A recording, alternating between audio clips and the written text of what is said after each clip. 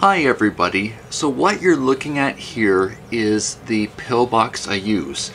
So what these are is Monday AM PM then it goes all the way over to Sunday AM and PM. So this particular box is good when your medicine's taken every 12 hours. That is in the morning and at night. What this does and what this box represents is the ability to avoid taking prescriptions twice. What I mean by that is not taking a second dose like if, if the if the little spot's empty then I know I've had them. So I fill this every Sunday evening which is what I'm doing right now and I thought I'd talk while I film this. So what I normally start with is there's some supplements I take. Um, so I'm not used to it, the camera like this.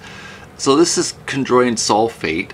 Um, this is for, it's a type of cartilage damage. And there is medical evidence for, for the use of this if you're in a sweet spot. And I understand that not all of you are going to be suffering with arthritis. Um, but it's one of the supplements that I take and I think it's working, but this particular one is very slow and gradual. And, but there is medical evidence for it. There is a different one. It's called glucosamine with chondroitin. Um, that's the better grade one. Uh, the next supplement that I use is magnesium bisglycinate. That may, might have been out of focus, and if it was, I apologize. So this is for muscle pain. And, you know, people with construction jobs genuinely could use this if they start getting sore at the end of the day in their muscles.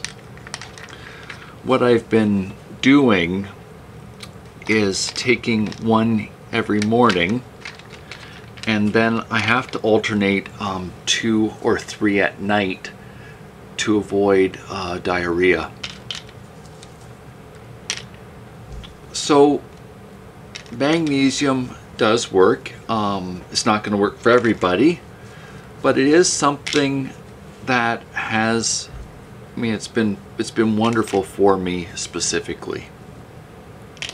And I would expect, in general terms, for people in wheelchairs and muscle type injuries. I mean, certainly the pros outweigh the cons in trying in consultation with your doctor. Uh, the next one I use is omega-3. So this is the same healthy fish oil. What I'm taking it for is arthritis uh, reactions in my my joints and it is being helpful. Um, I wouldn't go without it. I mean, I would probably try every six months to not use it for a few days after speaking with a doctor to make sure it's still being helpful. But generally, this is working. And what the doctor's office has done, you can see on here, is that it's a 1200 gram capsule. The doctor's office looked up and worked out what was a safe dose per day starting at one adding a second one just making sure it was for me. And if it wasn't work the, the plan was to take it for a week. If it wasn't doing anything stop. Um, and then the last one is the medications I use for pain.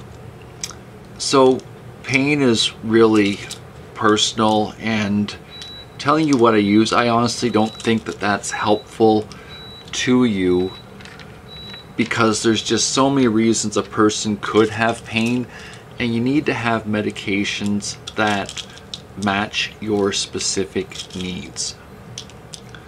The one thing I think it's worth saying is that the pink capsules that I just put in there are the same as these white capsules and I find that I need just a little bit more in the evening and That's just from the day's activities so I can sleep better at night. And you have to be willing to try for about two weeks and talk about this and see how it goes. Um, the last one is for soft tissue pains. Um, and I take it at night. And it's the 24 hour pill. Um, there's a lot of medications that have been identified that treat both depression and epilepsy that help the nervous system for people who are experiencing chronic pain. So if a doctor did approach you and saying that they'd like you to try, there is there's merit to trying and seeing. And you just set up as a test and see how it goes. So the la um and that's really all I was going to say about that is to be having an open mind. I mean, I also have Tylenol here and Advil and they have their places. And under the right symptoms, I do use them. So I've got this closed up and then when Monday morning comes along, I push the little button and that's what I take in the morning. And then if I've, you know, if I dozed off again and wasn't 100% sure, if this is empty, well, it's been used. The final thing I want to mention is with this being in a box, I can put a Ziploc bag over top and if I had to go to a medical appointment, anything that fell out would be in the Ziploc bag and not hurt a child. Some of these things in here are not for a child. So I would just mention that to you as a strategy.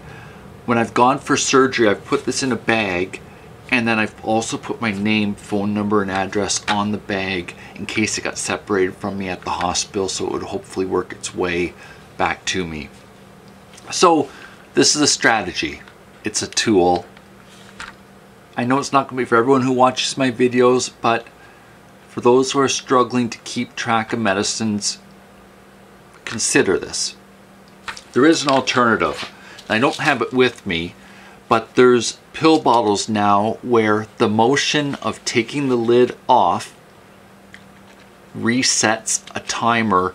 And what it shows you right on here is the number of hours since the bottle's been opened last. And that would be another safety net for you to double check if you're taking a second dose or not. Okay, there is some bubble packs or blister packs, depending on what word you want to use, that your pharmacist could prepare your medicines in if you're struggling or you're going to be on vacation. Normally a nurse gives it to you, but a family is going to give it to you. You could have it done in a bubble pack similar to this, where the pharmacy would make it up, and then a family would just hand you, you know, the spot for Sunday evening, for example. If you want to talk more about this, ask me in the comments. Thanks for your time together. Bye for now.